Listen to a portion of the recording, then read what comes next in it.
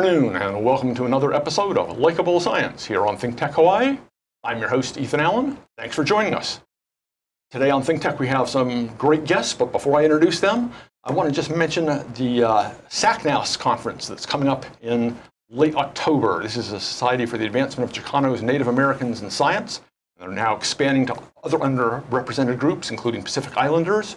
They're going to be a huge conference out here uh, in the convention center at the end of October, early November.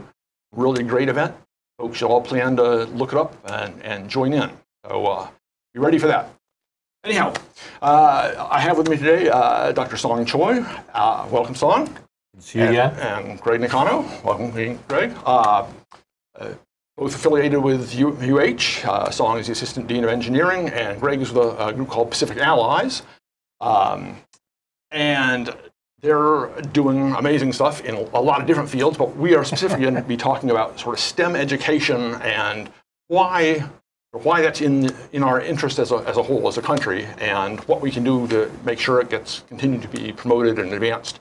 Uh, but maybe we can begin a little bit. Maybe you can tell us about the Pacific Allies program, give people a little context. Okay, thank you. Um, Pacific Allies was started as a program to help look at how do we teach next generation leaders the impacts of climate change on national security. And the whole idea is that you know, it takes you 20 to 30 years before you really become a senior military leader, an admiral, a general, or even just a colonel sometimes. So if you're not being exposed to kind of the impacts of climate change on national security when you're a cadet, a midshipman, then how are you even going to understand what you're looking at in some place like Bangladesh or you know a small Pacific island if you were never exposed to it you know younger. Excellent, excellent. And so, when did you sort of get uh, get this bug to get climate change into engineering curriculum, as it were? So, so climate change has been an engineering problem for decades and decades. And you know, my background with underwater robotics and a lot of the robotic stuff now with the uh, unmanned aerial systems, we're constantly trying to figure out how we can get more data to do this stuff. Mm-hmm. So STEM, climate change, places that have uh, not the quite the level of uh, STEM education that we we have, mm-hmm. we want to try to influence as much. Right, because these, these places face a particular burden, uh, particularly the freely associated states, right? Because we have this sort of ticking clock going now, right? The Compact uh, yeah. Freedom Association, right? COFA, yeah. it's known. And the COFA agreements are due to expire in 2023, I believe. And although certain parts of them will continue to exist in perpetuity, other parts sort of disappear then, mm-hmm. uh, including a lot of the money that is currently goes out each year to mm-hmm. these things. And when that happens, there's liable to be some significant social changes, right? Economic changes as well. okay. I mean, you know, you know, it's I think there's a reason why we have always had an interest in the South Pacific region. It's mm-hmm. Geographically very desirable. Uh, and I think there are many other nations surrounding that region that see the exclusive economic zone benefits and maybe even things underwater that have a lot of significant benefits. So many, many countries and regions are pretty much eager to get their hands on it. And you know, luckily, until 2023, which is snap, snap, and snap, right. We still have some sort of influence on it. I think we need to figure out how to maintain that. Yeah, and, and it's, it's real clear from people in the region that, for instance, the Chinese are mm-hmm. making significant inroads in mm-hmm. trying to cut business deals mm-hmm. there, build uh, infrastructure for them, giving them really very nice deals to in, entice them, basically, entice their governments into aligning more closely with China. Mm-hmm right now, because of our exclusive economic zone, we can essentially, as I understand it, allow or unallow any ships from any nation to enter that, right? of course, of course. Yeah. I mean, uh, exclusive economic zone, EEZ, gives you a huge advantage of what you can do in that region. I mean, simply, even fishing right. Uh, you look at the vast number of square footage or square mileage of what you're controlling down there, that's a lot of fishing zones. Mm-hmm. And as populations grow, one of the places you're looking to gather more food are the oceans. Right. And a lot of countries have a lot of big populations. Although all the projections that I've seen Mm-hmm. basically sort of say we shouldn't be counting on getting more food from the ocean because Yeah. most of the major fishing stocks have hit their peak and are declining, some fairly rapidly. I mean, I think they said we've reached more than 50% of what the oceans are supposed to produce. So we're now on the downhill end of the food process. Yeah, yeah. If, if we've hit peak fishing, that's a, that's, that's a dangerous concept, right? Because some 3 billion people in the world depend on seafood basically as their main protein source, right? Uh, Well, I think that's where the climate change and the uh, sea level rise come into play. Uh, Climate change has obviously changed the way fish migrate. Uh, it has changed how coral reefs develop or get destroyed. Um, as more coral reef gets destroyed, uh, less food we're going to cultivate from the ocean. So, yeah, we're really on a downhill trend here, and I think every effort and all effort that we make to do this conservation, sustainability, resilience type stuff has to come into uh, some sort of a single point uh, agreement or net. Yeah, it's one of these issues too. It's global in nature, right? Uh-huh. You can't decide, country A can't decide we're going to go one way, and country B says we'll go the other way, although No. it does happen. You don't get anything done, right? You can't. Because the air that we breathe blows elsewhere, and we breathe the air that's been in other countries, and so, Yeah. It has to be a concerted effort. If, yeah. if anybody starts becoming very selfish, I think we're just bound to go downhill. That's what we're trying to see if we can help curtail some of. I mean, we're never going to stop any of this, but maybe we'll get enough people to be on the side that's curtailing the development and the destruction and advancing. Right. I mean, you want to see uh, good, well-educated mm-hmm. residents of all these areas who can look at evidence and say, where, where, what does this evidence tell me? Where, mm-hmm. where does this lead? Mm-hmm. What, what, how should I decide which way to jump here, right? Shall I go out and keep fishing what I know is an overfished stock and watch it plummet further so my kids won't have anything? Or shall we try to set some limits on it now today and, and make it sustainable?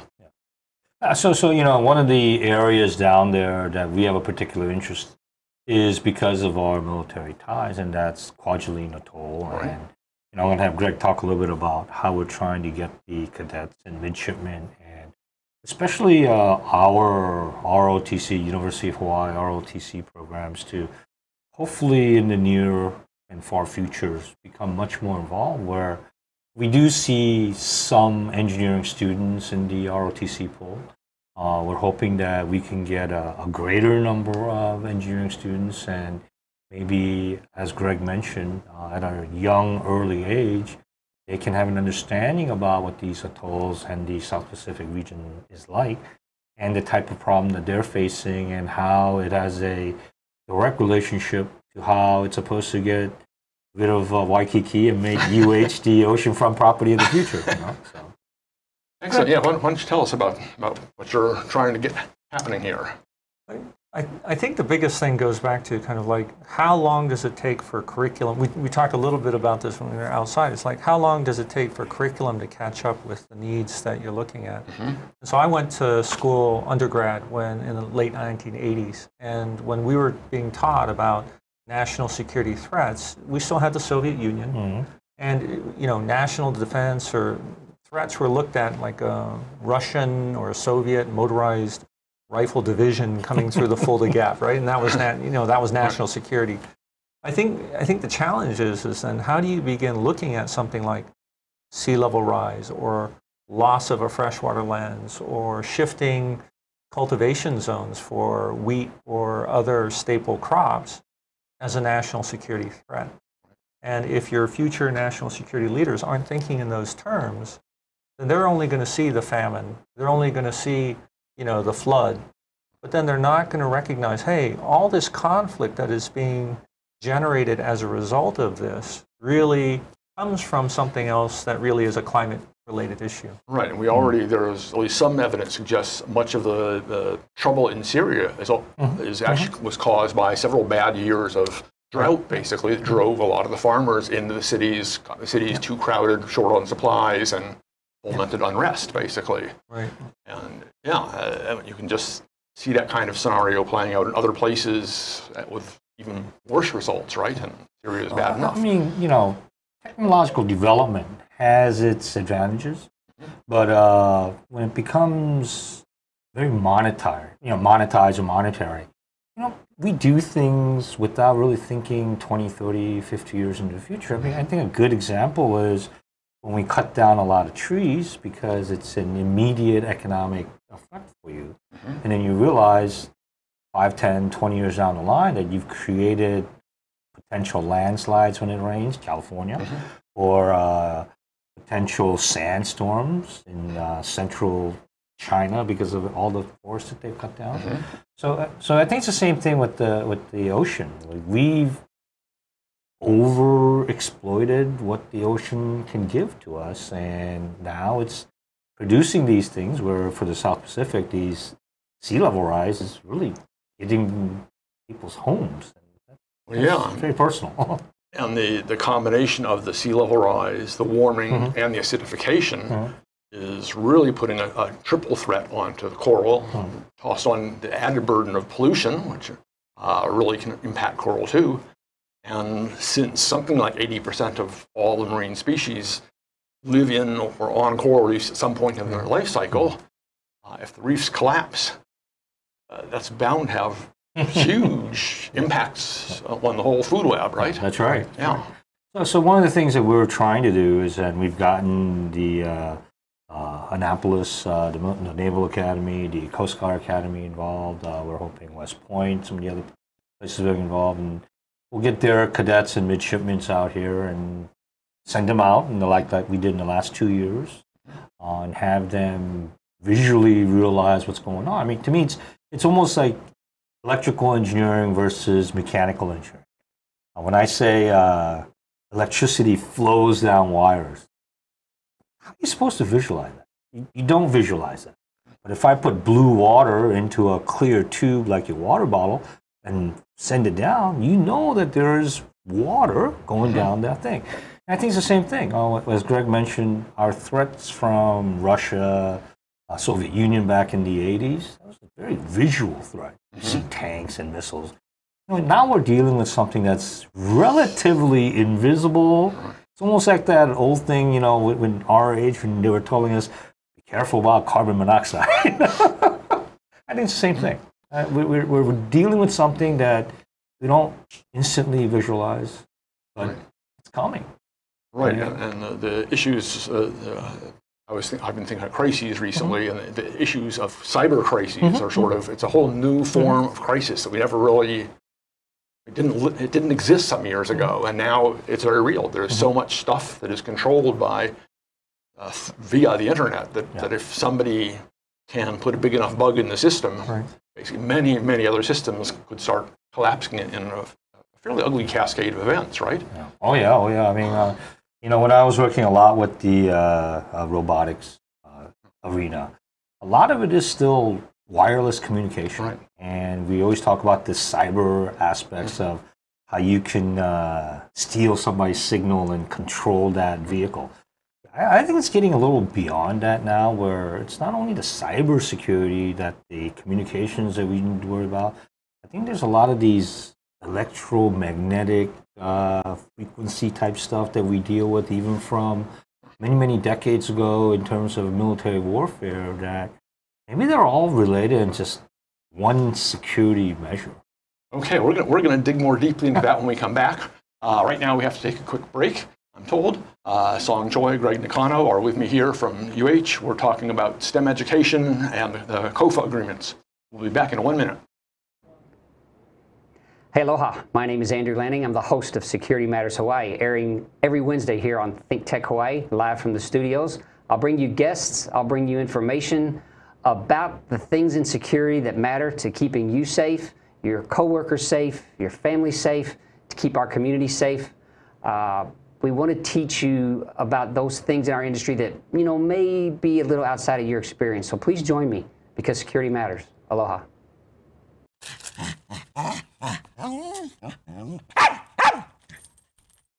Aloha. I'm Wendy Lowe, and I'm coming to you every other Tuesday at 2 o'clock, live from Think Tech Hawaii. And on our show, we talk about taking your health back. And what does that mean? It means mind, body, and soul. Anything you can do that makes your body healthier and happier is what we're going to be talking about. Whether it's spiritual health, mental health, fascia health, beautiful smile health, whatever it means, let's take healthy back. Aloha.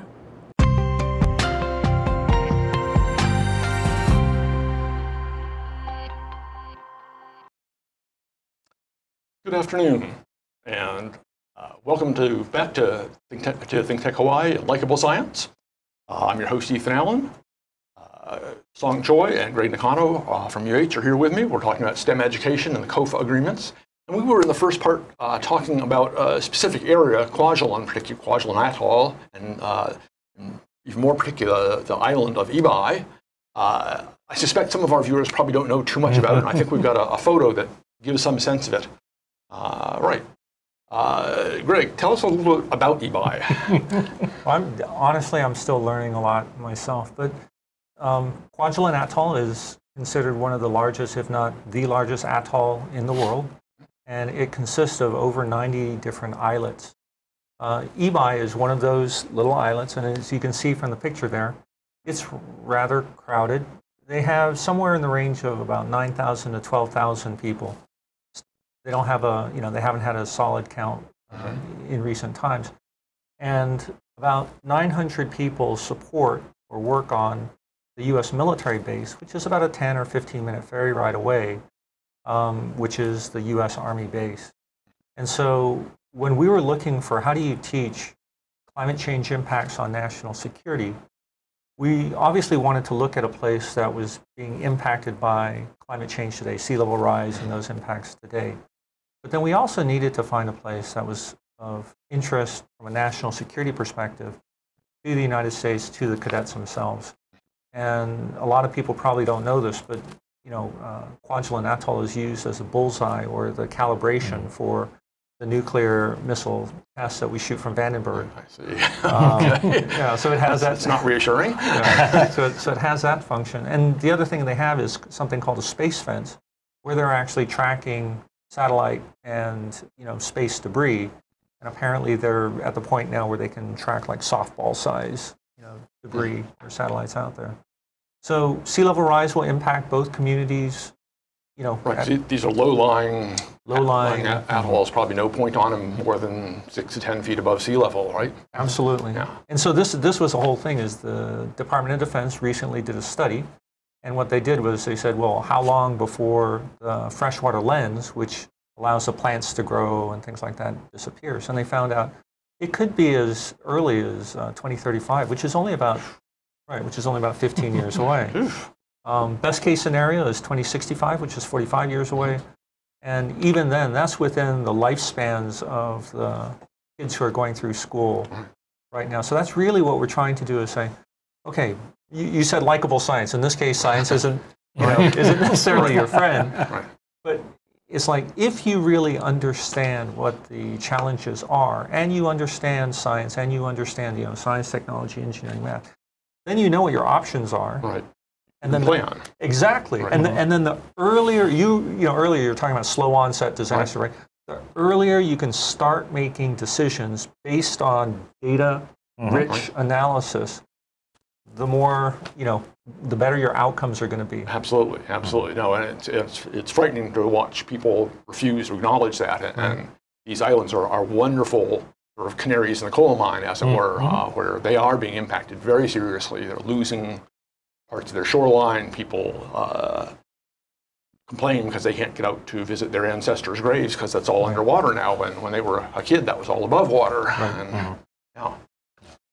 No, I mean, you know, um, as Gregg mentioned, the whole fact that maybe in this case science is not the likable side, but what it's given us is this huge advantage of utilizing the potential of all the data we can gather from there. I mean, we've we've seen uh, simulations of how Waikiki is going to disappear in the next Right. 50, 60 years. So why not start doing something about it now? Right. And Uh, we want to see if we can send things down there. We, we, we've done a lot of stuff in our state with uh, robotics and how we're trying to get uh, young kids excited and understanding of these uh, new technologies and exposure to even new ones that hasn't come out yet. And we're trying to do the same out there. We're trying to get them to understand uh, the importance of vehicles like uh, unmanned aerial systems, uh, maybe even uh, unmanned underwater vehicles. And instead of us going down there and taking random data every three months, six months, why can't we just transfer some of that knowledge, uh, educate many of the kids there to have a greater understanding about these type of technologies and have them be our contact in gathering those data. Absolutely. You know, if we have too much data, what's better than not having enough data, right? Yeah. So, And at the same time, that, that's then building a, STEM literate Mm-hmm. workforce down there, which, which they really need. If, they're, if they are going to cope effectively with, with Mm-hmm. climate change and sea level rise and the various impacts of this, Mm-hmm. they, they need uh, a citizenry who really understands the- these issues, understands what the impacts are going to be, understands there are options, how engineering can be used, how, Mm-hmm. what technology can and cannot do, what it might be able to do. Um, yeah. Uh, You raised a really interesting point. You're talking about slow onset, and, and then you talked a little bit about Syria. The United Nations International Organization on Migration went and did some projections, and they said by 2050, they really think there could be as many as a billion climate refugees. But you know, when they looked at the range, they said, okay, 200 million climate refugees at 2050 is about what we think is going to be, you know, the number that's about right. Syria right now is about 6 million people who are either refugees or internally displaced. So you multiply that, and that's what potentially we're looking at just from climate refugees. Right. So what we're trying to do is say, hey, you know that the best science is telling us you're going to lose your freshwater lens. How do we work together? Mm-hmm. And how do we co-develop a lot of these research projects so that as you are getting new information, we're working with you to ensure that one, you can stay on your home island longer, but two, that when you come to Hawaii or you go back to the mainland or wherever you, wherever you need to go to, you're going to bring with you ex- knowledge, experience, skills, you know, capabilities that are going to be valuable for the place that you're having to move to. Yeah, absolutely. And, and I mean, this issue is not just confined to these small islands of coast, Right. uh, right? Oh, all, all around the world, the aquifers are being depleted faster than they're being refilled. There are already simmering tensions over water rights in various different places, parts of the world. Mm-hmm. Any of those reasonably easily could fairly quickly erupt it into uh, a much worse situation. You know, one crisis breeds another crisis, right? yeah, I- you look at the continental U.S. map, the way it's projected in terms of simulations is that the middle of the United States and the sides, the coastal lines of the United States are supposed to disappear. So I, I think we need to figure out how to, if not stop, at least slow it down enough that we come up with better solutions. I mean, engineering, that's all it is, coming up with solutions.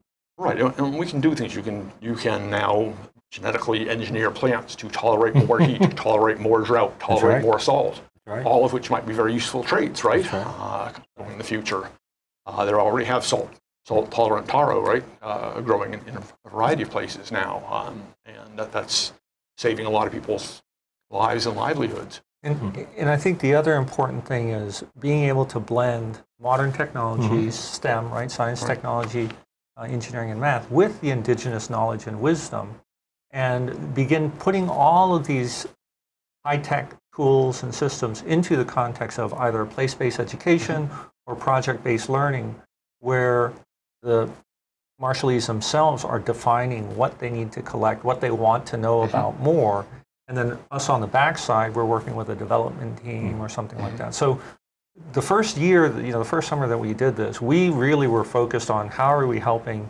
the American cadets and midshipmen understand the situation, you know, in the Marshall Islands. Over the past two years, really, we've flipped that model. Mm-hmm. And what we're doing is the American cadets and midshipmen are coming down and they're doing service learning. Mm-hmm. And really, what they're trying to do is help the Marshallese. We, you know, the Marshallese have their own summer program.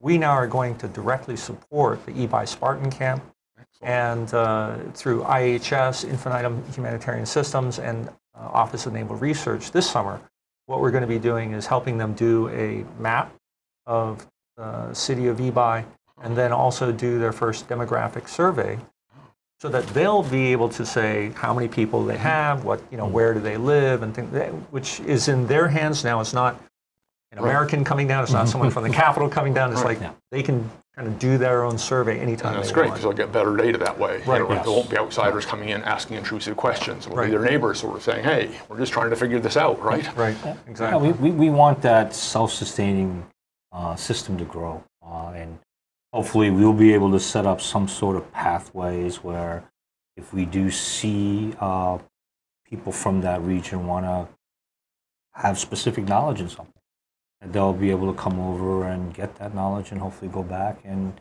help make whatever situation they have a little bit better. And you know, who knows? Yeah. We were joking about the fact that we have these drone piloting uh, competitions going on here, and maybe one of those kids that have been playing with the drone every day for the next couple of years to gather all that data will be one of the champions or something. Absolutely. absolutely. Anything is possible. Yeah, you know, this, this, is, this is great, and it's wonderful to learn about the, this, the interest you have, the efforts, the pr- actual programs that are running, the fact that you're engaging more people in them. If uh, some of our viewers want to get in touch with you, I assume they could do so, and, and you'd welcome Yeah. all the help you can get, right? Oh, of course. This is, You know, uh, if, if, if they're interested in contacting us, uh, I don't know if you guys have the thing, but yeah, we can send our email addresses or uh, Yeah, get in touch with Whatever contact or information. whatever. We could always always make contact.